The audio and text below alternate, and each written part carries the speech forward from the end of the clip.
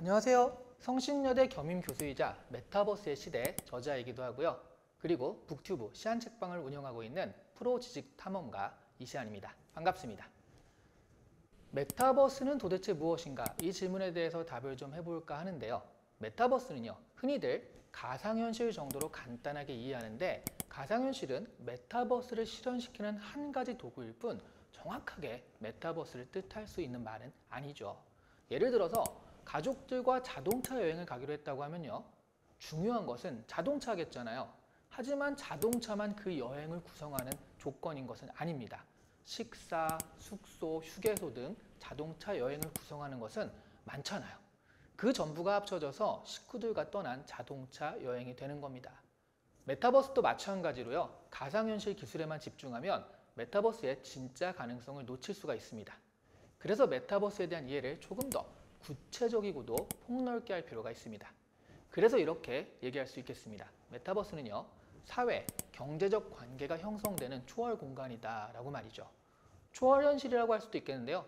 중요한 것은요. 사람들 사이의 연결이 일어나는 초월의 장이라는 점입니다. 페이스북이나 싸이월드 같은 것도 메타버스인가요? 라고 많이들 물어보십니다. ASF 비영리 기술 연구단체가 메타버스의 종류를 네 가지로 분류했어요. 국내 초창기에 소개된 메타버스에서는 바로 이 네 가지 분류를 따르고 있거든요. 그렇기 때문에 페이스북이 메타버스처럼 생각이 되는 겁니다. 그 분류 중에 life logging이라고요.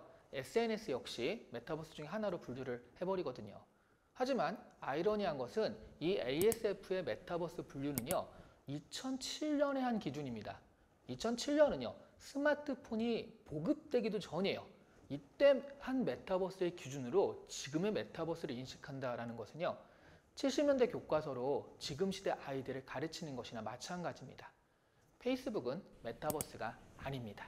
이건요. 페이스북의 CEO인 마크 주커버그가 2021년 7월에 언론과의 인터뷰에서요. 앞으로 5년 내 페이스북을 사회 관계망 서비스에서 메타버스 기업으로 전환하겠다고 한 얘기를 생각하시면 되겠습니다. 이미 메타버스 기업이라면 굳이 전환할 거다 이렇게 얘기할 필요는 없는 거잖아요.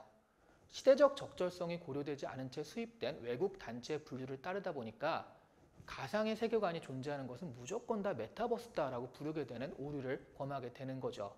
그렇게 되면요. 진짜 메타버스에 함유된 기회를 놓칠 수도 있으니까 각별히 유의하시기 바랍니다. 메타버스가 최근 들어 왜 이렇게 핫한 건가요? 두 가지 이유가 있습니다. 장기적인 이유와 단기적인 이유인데요. 장기적인 이유로는 많은 분들이 새로운 혁명의 징조라고 생각하기 때문이에요. 산업혁명 이후로 사람들이 일을 할 때는 서로 만나서 무언가 진행이 되었죠. 그러다가요, 인터넷이 나오면서 만나지 않고도 일을 할 수 있게 되었습니다. 그래서 정보화 혁명이라는 말을 쓰거든요. 사람들 사이의 연결의 방식을 바꾼 겁니다. 그러다가 모바일 인터넷이 되면서 또다시 연결의 방식을 바꾼 거예요. 이제 메타버스가 그 연결의 방식을 다시 한번 바꾸려고 하는 겁니다. 인터넷이나 모바일로 사람들이 연결될 때는요. 현실을 보조해준다는 정도의 의미가 강했는데요. 메타버스는 현실의 만남을 대체할 만큼의 존재감을 가지는 거거든요.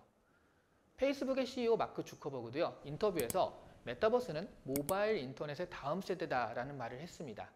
메타버스는 메타버스 내의 만남만으로도 완결성이 있습니다. 그래서 메타버스는 또 하나의 세상이 되는 거예요. 예를 들어 자신이 메타버스 안에서 공간을 만들어주고 돈을 버는 일을 한다면 메타버스 안에서 의뢰인을 만나서 메타버스 안에서 거래를 성사시키고 그 비용 역시 메타버스 안의 화폐로 받게 되거든요. 또 하나 단기적인 면에서 보자면요. 현실에서 갑자기 부자가 될 방법이 거의 사라졌습니다. 안타깝지만 현실이죠. 현실 세계 부는 공고해졌고요. 그리고 세습되고 있습니다.